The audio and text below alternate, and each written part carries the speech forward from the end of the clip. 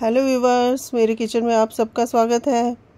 तो आज मैं आपके लिए लेकर आई हूँ बहुत ही चटपटी, चटकारेदार और मज़ेदार सी रेसिपी इसे देखते ही आपके मुँह में पानी आ जाएगा और बनाना इतना आसान है कि आप इस वीडियो को देखकर रह नहीं पाएँगे और झट से अपनी किचन में जाएँगे और बनाकर इसे खाएँगे। तो चलिए आज हम बनाते हैं पानी वाले पकौड़े। तो इन पकौड़ों में आपको तीन तरह का टेस्ट मिलेगा। इसमें आपको पकौड़े का भी टेस्ट आएगा, वड़े का भी टेस्ट आएगा और पानी पूरी का भी टेस्ट आएगा। तो वीडियो को एंड तक ज़रूर देखिएगा और पसंद आए तो लाइक और शेयर भी कर दीजिएगा। तो चलिए फटाफट से शुरू करते हैं। तो सबसे पहले मैंने एक छलनी से ये दो कटोरी बेसन लिया है और इसको छान लेंगे। बेसन को छानना जो है ज़रूरी है। इससे जो है इसमें लम्ब्स नहीं रहते और बैटर अच्छा बनता है। तो ये देखिए, इसको छान लेंगे बेसन को इस तरीके से। तो अब इसमें नमक मिलाएँगे। तो आधा चम्मच नमक मिलाया मैंने और साथ ही जो है थोड़ी सी हल्दी। अब इन सबको अच्छे से मिक्स कर लेंगे और थोड़ा थोड़ा पानी डाल के हमने इसका बैटर तैयार करना है। पानी जो है थोड़ा थोड़ा करके डालें। अगर हम एक साथ सारा पानी डाल देंगे तो बेसन में जो है लम्स पड़ जाएँगे। बैटर अच्छा नहीं बनेगा। तो इसलिए थोड़ा थोड़ा पानी डाल के मिक्स करते जाए और एक बैटर बना लें इसका। ये देखिए, इस तरीके से।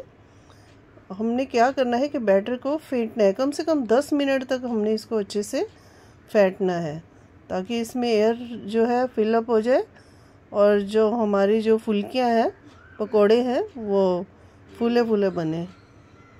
तो ये देखिए इस तरीके से। अब एक पिंच में थोड़ा इसमें जो है आ, बेकिंग सोडा डाल रही हूँ।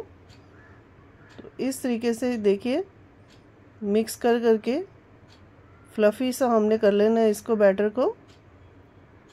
ये देखिए अब कटोरी में डाल के हम चेक कर लेते हैं। ये देखिए हमने थोड़ा सा इसमें डाला है तो ये ऊपर तैयार गया है। इसका मतलब ये बैटर जो है हमारा अब तैयार हो गया है। अब थोड़ा सा धनिया डाल देते हैं इसमें। और धनिया डाल के अच्छे से मिक्स कर लेंगे। और अब हम इसके जो है, पकोड़े बना लेते हैं। देखिए, अब इसमें ऑयल गरम हो गया और पकोड़े तल लेते हैं। इस तरीके से आप हाथ से छोटे छोटे इस तरीके से बना लीजिए। छोटे बड़े साइज़ आप अपने हिसाब से जैसे भी बनाना चाहते हैं, उस तरीके से इसको तल लीजिए। ये देखिए। तो अच्छी तरह से एक साइड से हो जाएगा तो इनकी साइड चेंज कर देंगे और अच्छा सा गोल्डन होने तक इनको फ्राई करेंगे हम। तो ये देखिए, अच्छे से गोल्डन हो गया है, इनको निकाल लेते हैं और बाकी के भी ऐसे ही फ्राई कर लेंगे।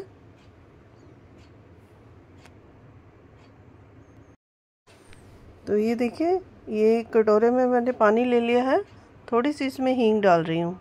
ये नॉर्मल पानी है, बहुत ठंडा भी नहीं है और गर्म भी नहीं है। नॉर्मल टेम्परेचर वाला पानी है। थोड़ी सी हींग डाल के अब ये सारे जो है, हमारे पकोड़े इसमें डाल देंगे हम। और इनको 10-15 मिनट के लिए ऐसे ही रखा रहने देंगे और तब तक हम जो है, इनके लिए पानी तैयार कर लेते हैं। तो इस साइड मिक्सी के जार में सबसे पहले पुदीना पुदीने को अच्छे से धो के वॉश कर लिया था और साथ ही इसमें धनिया, दो हरी मिर्च, एक अदरक का टुकड़ा और साथ ही इसमें डाल देंगे। ये कटी हुई अम्बी कच्चा आम है ये, इसको छील कर और टुकड़े कर लिए थे इसके। अब इसमें डाल देंगे थोड़ा सा काला नमक और थोड़ा सा इसमें वाइट नमक डालेंगे और इसको अच्छे से पीस लेंगे। तो ये देखिए, एक बार ही इसको चलाया, अब थोड़ा पानी डालेंगे और पानी डाल के बिल्कुल जो बारीक पेस्ट बना लेंगे इसकी। ये देखिए, इस तरीके से। तो अब इसे हम छलनी से छान लेंगे।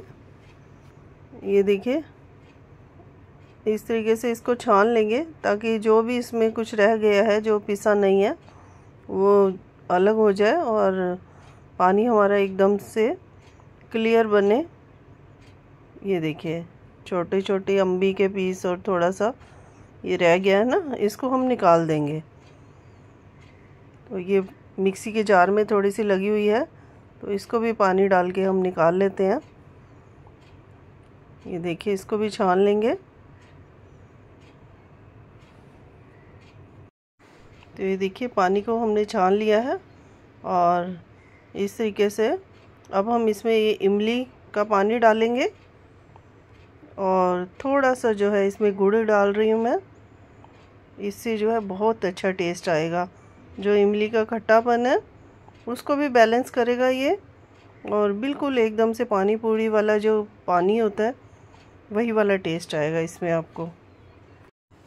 अब हम इसमें बर्फ़ डाल देंगे। बस एक चीज़ का आपने ध्यान रखना है कि बर्फ़ आपने तब डालनी है, जब गुड़ जो है अच्छी तरह से इसमें घुल जाए। उसके बाद ही आपने इसमें जो है बर्फ़ डालनी है। अब साथ ही थोड़ी सी धनिया और पुदीना के पत्ते और ये पानी हमारा तैयार है। तो इस साइड देखिए, ये फुल्कियाँ भी हमारी पानी में एकदम फूल गई हैं और इस तरीके से इनको हल्के हाथ से निचोड़ निचोड़ के हम ये पानी में डाल देंगे।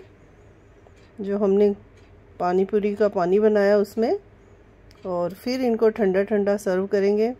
यकीन मानिए, बहुत ही टेस्टी बनता है आप एक बार ज़रूर बना के देखिए और मुझे विश्वास है कि आप ये वीडियो देख के ज़रूर बनाएँगे, क्योंकि ये बनता ही इतना टेस्टी है और बनाना भी बहुत आसान है।